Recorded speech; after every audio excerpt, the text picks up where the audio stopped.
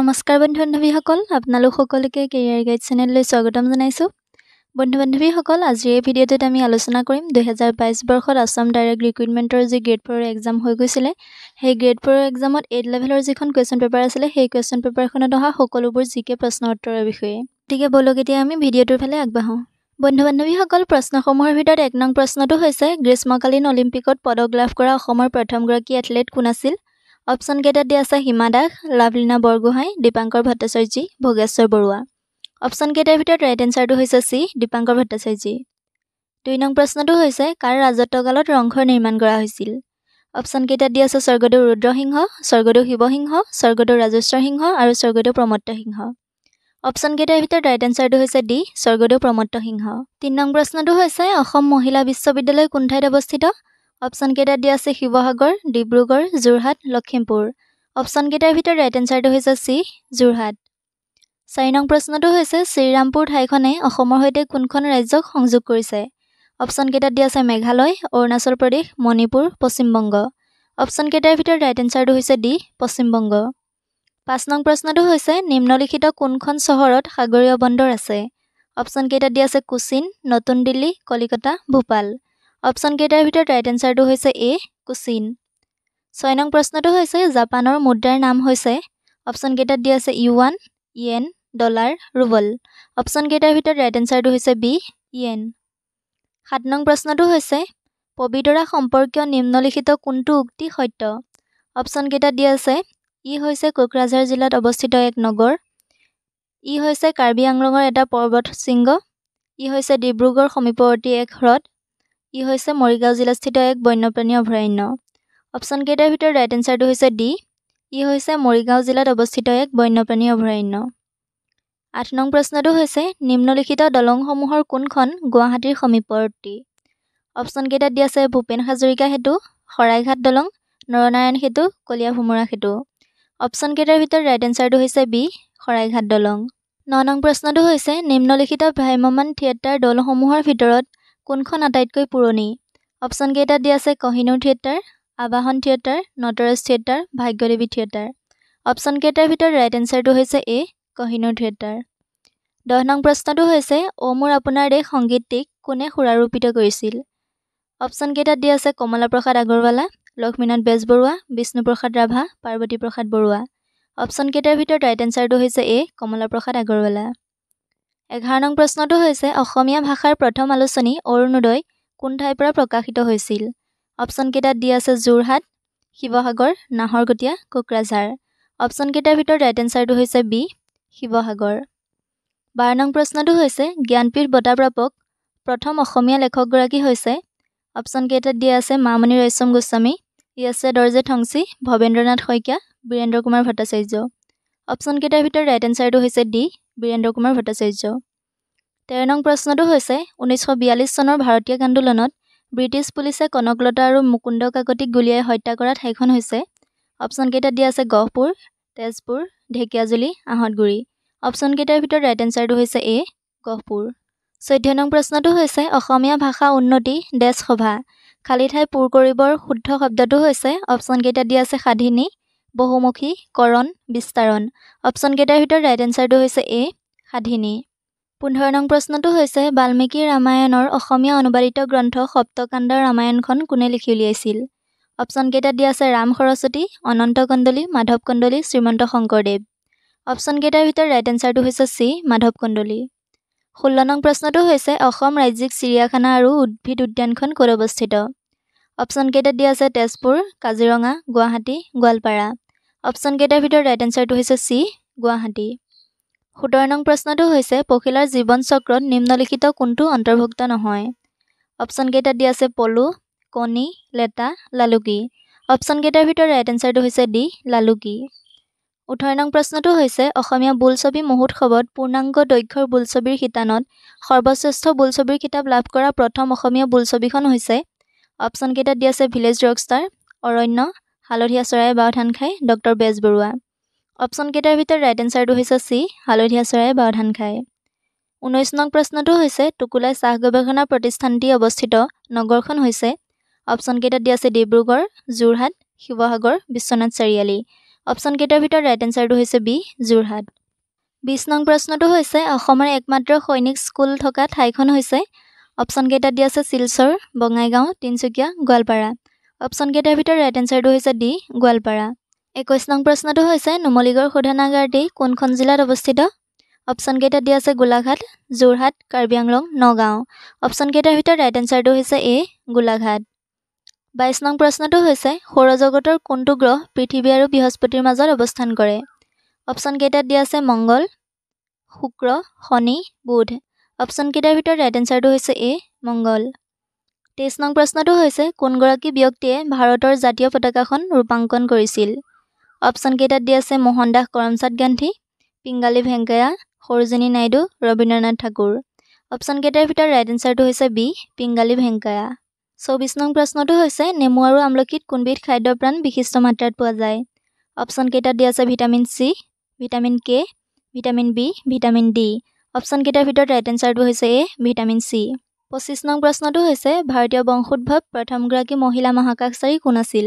অপশ্যনকেইটাত দিয়া আছে কিৰণ শ্ব' কিৰণ বেদী কল্পনা চাওলা কল্পনা চাক্সেনা অপশ্যনকেইটাৰ ভিতৰত ৰাইট এনচাৰটো হৈছে চি কল্পনা চাওলা।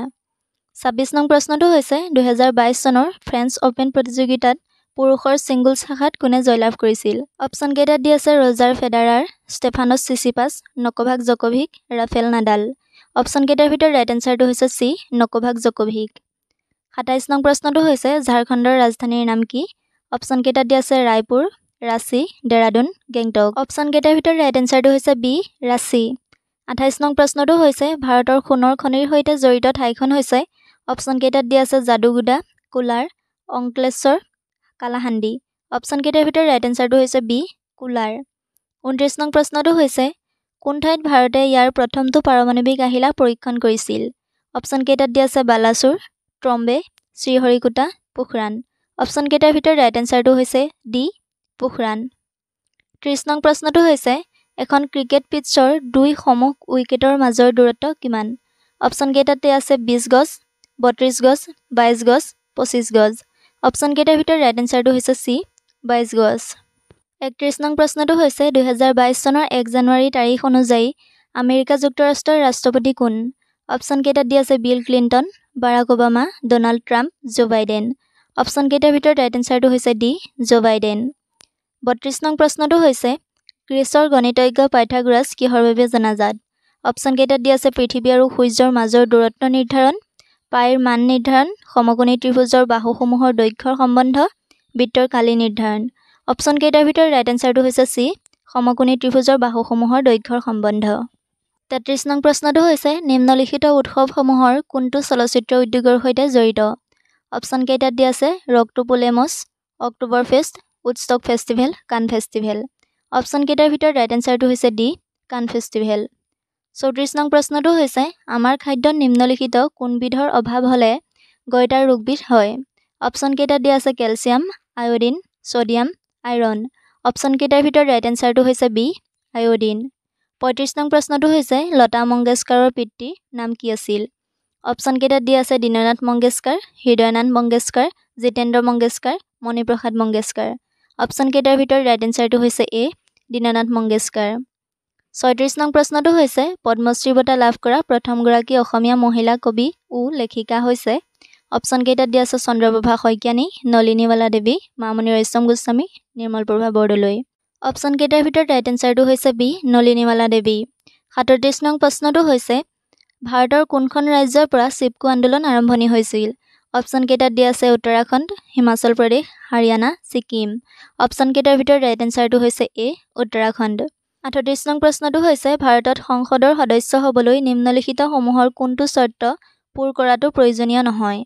অপশ্যনকেইটাত দিয়া আছে ভাৰতবৰ্ষৰ এজন নাগৰিক হ'ব লাগিব। বয়স পঁচিছ বছৰৰ কম হ'ব নালাগিব।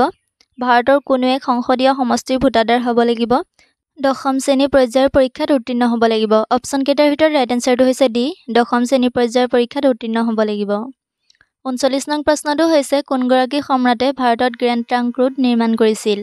অপশ্যনকেইটাত দিয়া আছে আকবৰ জাহাংগীৰ কুতুবুদ্দিন আইবাক শ্বেৰশ্বাহ চুৰি অপশ্যনকেইটাৰ ভিতৰত ৰাইট এনচাৰটো হৈছে ডি শ্বেৰশ্বাহ চুৰি চল্লিছ নং প্ৰশ্নটো হৈছে ভাৰতীয় সংবিধানৰ অষ্টম অনুসূচীত নিম্নলিখিতসমূহৰ কোনটো অন্তৰ্ভুক্ত নহয়? অপশ্যনকেইটা দিয়া আছে চাওতাল বড়ো মৈথিলি কাৰ্বি। অপশ্যনকেইটাৰ ভিতৰত ৰাইট এনচাৰটো হৈছে ডি কাৰ্বি। একচল্লিছ নং প্ৰশ্নটো হৈছে কোনটো বৰ্ষত armed forces special powers act গৃহীত হৈছিল? অপশ্যনকেইটাত দিয়া আছে ঊনৈছশ আঠাৱন্ন ঊনৈছশ বাৱন্ন ঊনৈছশ ষাঠি ঊনৈছশ এসত্তৰ। অপশ্যনকেইটাৰ ভিতৰত ৰাইট এনচাৰটো হৈছে এ ঊনৈছশ আঠাৱন্ন বিয়াল্লিছ নং প্ৰশ্নটো হৈছে ভাৰতীয় সংবিধানৰ কোনটো অনুচ্ছেদে উত্তৰ পূব ভাৰতৰ ৰাজ্যসমূহক বিশেষ মৰ্যাদা প্ৰদান কৰে? অপশ্যনকেইটাত দিয়া আছে অনুচ্ছেদ চৈধ্য অনুচ্ছেদ তিনিশ সাতসত্তৰ অনুচ্ছেদ তিনিশ এসত্তৰ অনুচ্ছেদ দুশ চৌৱন্ন। অপশ্যনকেইটাৰ ভিতৰত ৰাইট এনচাৰটো হৈছে চি অনুচ্ছেদ তিনিশ এসত্তৰ। তিয়াল্লিছ নং প্ৰশ্নটো হৈছে জৱাহৰলাল নেহৰুৱে ডিছকভাৰী অফ ইণ্ডিয়া কিতাপখন কোন ঠাইত লিখি উলিয়াইছিল? অপশ্যনকেইটাত দিয়া আছে পুনে চেণ্ট্ৰেল কাৰাগাৰ ইয়াৰৱাডা কাৰাগাৰ থানে কাৰাগাৰ আহমেদনগৰ দুৰ্গ। অপশ্যনকেইটাৰ ভিতৰত ৰাইট এনচাৰটো হৈছে ডি আহমেদনগৰ দুৰ্গ। চৌৰাল্লিছ নং প্ৰশ্নটো হৈছে নিম্নলিখিত ঠাইসমূহৰ কোনখনে ইয়াৰ লিচুৰ বাবে জি আই টেগ লাভ কৰিছে? অপশ্যনকেইটাত দিয়া আছে তেজপুৰ যোৰহাট লখিমপুৰ শ্বিলং। অপশ্যনকেইটাৰ ভিতৰত ৰাইট এনচাৰটো হৈছে এ তেজপুৰ। পঞ্চল্লিছ নং প্ৰশ্নটো হৈছে নিম্নলিখিত কোনগৰাকী ব্যক্তি ভাৰতীয় শিক্ষা ব্যৱস্থা সংস্কাৰ সাধনৰ বাবে জনাজাত? অপশ্যনকেইটাত দি আছে Lord Clive Dalhousie Lord Cornwallis Lord Mountbatten Lord Macaulay অপশ্যনকেইটাৰ ভিতৰত ৰাইট এনচাৰটো হৈছে ডি লৰ্ড মেকুলে ছয়চল্লিছ নং প্ৰশ্নটো হৈছে অৰুণোদয় নামৰ অসমীয়া আলোচনীখনৰ প্ৰথম সম্পাদক কোন আছিল? অপশ্যনকেইটাত দি আছে doctor Nathan Brown Hemchandra Barua Oliver Cutter Anandaram Dhekial Phukan অপশ্যনকেইটাৰ ভিতৰত ৰাইট এনচাৰটো হৈছে এ ডক্টৰ নাথান ব্ৰাউন সাতচল্লিছ নং প্ৰশ্নটো হৈছে অসম চৰকাৰৰ ভূমি ৰাজহ সম্পৰ্কীয় সেৱাসমূহৰ সুশৃংখলিতকৰণৰ আঁচনিক কি নামেৰে অধিক পৰিচিত? অপশ্যনকেইটাত দি আছে অৰুণোদয় বসুন্ধৰা সাৰথী অৰুন্ধতী। অপশ্যনকেইটাৰ ভিতৰত ৰাইট এনচাৰটো হৈছে বি বসুন্ধৰা। আঠচল্লিছ নং প্ৰশ্নটো হৈছে শ্ৰীমন্ত শংকৰদেৱে জনপ্ৰিয় কৰি তোলা একাংকিকা নাটকৰ ৰূপটো কি নামেৰে জনাজাত? অপশ্যনকেইটাত দি আছে অংকীয়া নাট যক্ষগণ তমসা ভ্ৰাম্যমান অপশ্যনকেইটাৰ ভিতৰত ৰাইট এনচাৰটো হৈছে এ অংকীয়া নাট ঊনপঞ্চাছ নং প্ৰশ্নটো হৈছে নিম্নলিখিত সত্ৰসমূহৰ কোনখন সত্ৰ পশ্চিমবংগত অৱস্থিত? অপশ্যনকেইটাত দি আছে চমৰীয়া সত্ৰ বৰদী সত্ৰ মধুপুৰ সত্ৰ জকাই সত্ৰ। অপশ্যনকেইটাৰ ভিতৰত ৰাইট এনচাৰটো হৈছে চি মধুপুৰ সত্ৰ। পঞ্চাছ নং প্ৰশ্নটো হৈছে অসম ৰাজ্যৰ ব্ৰহ্মপুত্ৰ নদীখন কোন দিশত বয়? অপশ্যনকেইটাত দি আছে পূবৰ পৰা পশ্চিমলৈ পশ্চিমৰ পৰা পূবলৈ উত্তৰৰ পৰা দক্ষিণলৈ আৰু দক্ষিণৰ পৰা উত্তৰলৈ। অপশ্যনকেইটাৰ ভিতৰত ৰাইট এনচাৰটো হৈছে এ পূবৰ পৰা পশ্চিমলৈ। একাৱন্ন নং প্ৰশ্নটো হৈছে ভাৰতবৰ্ষত মোগল সাম্ৰাজ্যৰ প্ৰতিষ্ঠাতা কোন আছিল? অপশ্যনকেইটাত দি আছে হুমায়ুন শ্বেৰশ্বাহ চুৰি বাবৰ আকবৰ। অপশ্যনকেইটাৰ ভিতৰত ৰাইট এনচাৰটো হৈছে চি বাবৰ। বাৱন্ন নং প্ৰশ্নটো হৈছে কালপক্কম নৰোৰা আৰু তাৰাপুৰত অৱস্থিত প্ৰকল্পসমূহত কোনটো উৎসৰ পৰা বিদ্যুৎ উৎপাদন কৰা হয়? অপশ্যনকেইটাত দি আছে জলশক্তি নিউক্লিয় শক্তি তাপশক্তি সৌৰশক্তি অপশ্যনকেইটাৰ ভিতৰত ৰাইট এনচাৰটো হৈছে বি নিউক্লিয় শক্তি। তেপন্ন নং প্ৰশ্নটো হৈছে কোনে যোৰহাটক আহোম ৰাজ্যৰ শেহতীয়া ৰাজধানী হিচাপে প্ৰতিষ্ঠা কৰিছিল? অপশ্যনকেইটাত দি আছে স্বৰ্গদেউ গৌৰীনাথ সিংহ স্বৰ্গদেউ ৰুদ্ৰসিংহ স্বৰ্গদেউ শিৱসিংহ স্বৰ্গদেউ পুৰন্দৰ সিংহ। অপশ্যনকেইটাৰ ভিতৰত ৰাইট এনচাৰটো হৈছে এ স্বৰ্গদেউ গৌৰীনাথ সিংহ। চৌৱন্ন নং প্ৰশ্নটো হৈছে কোচ ৰাজ্যৰ সিংহাসনত আৰোহণ কৰাৰ পূৰ্বে ৰজা নৰনাৰায়ণৰ নাম কি আছিল? অপশ্যনকেইটাত দি আছে নৰসিংহ বিশ্বজিৎ শুক্লধ্বজ মল্লদেৱ। অপশ্যনকেইটাৰ ভিতৰত ৰাইট এনচাৰটো হৈছে ডি মল্লদেৱ। পঁচপন্ন নং প্ৰশ্নটো হৈছে নিম্নলিখিত কোনবিধ উদ্ভিদক পৰ্ণপাতী উদ্ভিদৰ উদাহৰণস্বৰূপে গণ্য কৰা নহয়? অপশ্যনকেইটাত দি আছে শালগছ আম গছ সৰল গছ শিমলু গছ অপশ্যনকেইটাৰ ভিতৰত ৰাইট এনচাৰটো হৈছে বি আম গছ ছাপন্ন নং প্ৰশ্নটো হৈছে সাধাৰণতে কেনেবিধৰ অঞ্চলত জুম খেতি কৰা হয়? অপশ্যনকেইটাত দি আছে জলাভূমি পাহাৰৰ ঢাল চৰ অঞ্চল সমতল ভূমি। অপশ্যনকেইটাৰ ভিতৰত ৰাইট এনচাৰটো হৈছে বি পাহাৰৰ ঢাল। সাতাৱন্ন নং প্ৰশ্নটো হৈছে ব্ৰিটিছ অধীনস্থ ভাৰতৰ কোনটো আইনৰ বিৰুদ্ধে প্ৰতিবাদ সাব্যস্ত কৰিবলৈ জালিৱানৱালাবাগ হত্যাকাণ্ডৰ ভিৰ একত্ৰিত হৈছিল? অপশ্যনকেইটাত দি আছে চাইমন কমিশ্যন ৰাওলাট আইন মৰলে মিণ্টু সংস্কাৰ ভোটদাতাৰ পৃথক তালিকা। অপশ্যনকেইটাৰ ভিতৰত ৰাইট এনচাৰটো হৈছে বি ৰাওলাট আইন আঠাৱন্ন নং প্ৰশ্নটো হৈছে হাজো ঠাইখিনিক যি তিনিখন ধৰ্মৰ সংগস্থলীৰূপে বিবেচনা কৰা হয় সেইসমূহ ধৰ্ম হৈছে অপশ্যনকেইটাত দি আছে হিন্দু ধৰ্ম শিখ ধৰ্ম ইছলাম ধৰ্ম বৌদ্ধ ধৰ্ম হিন্দু ধৰ্ম ইছলাম ধৰ্ম বৌদ্ধ ধৰ্ম জৈন ধৰ্ম হিন্দু ধৰ্ম হিন্দু ধৰ্ম শিখ ধৰ্ম বৌদ্ধ ধৰ্ম। অপশ্যনকেইটাৰ ভিতৰত ৰাইট এনচাৰটো হৈছে বি বৌদ্ধ ধৰ্ম হিন্দু ধৰ্ম আৰু ইছলাম ধৰ্ম। ঊনাষাঠি নং প্ৰশ্নটো হৈছে জনস্বাৰ্থক প্ৰতিনিধিত্ব কৰিবৰ বাবে নিম্নলিখিত কোন সত্তাই দুৰ্নীতি বিৰোধী কৰ্তৃপক্ষৰ ভূমিকা পালন কৰে? অপশ্যনকেইটাত দিয়া আছে মুখ্য তথ্য আয়ুক্ত লোকপাল উচ্চ ন্যায়ালয়ৰ মুখ্য ন্যায়াধীশ মুখ্য নিৰ্বাচনী আয়ুক্ত। অপশ্যনকেইটাৰ ভিতৰত ৰাইট এনচাৰটো হৈছে বি লোকপাল। ষাঠি নং প্ৰশ্নটো হৈছে ভাৰতীয় সংবিধানৰ কোনটো অনুসূচীৰ অধীনত উত্তৰ কাছাৰ পাৰ্বত্য স্বায়ত্ত পৰিষদ গঠিত হৈছিল।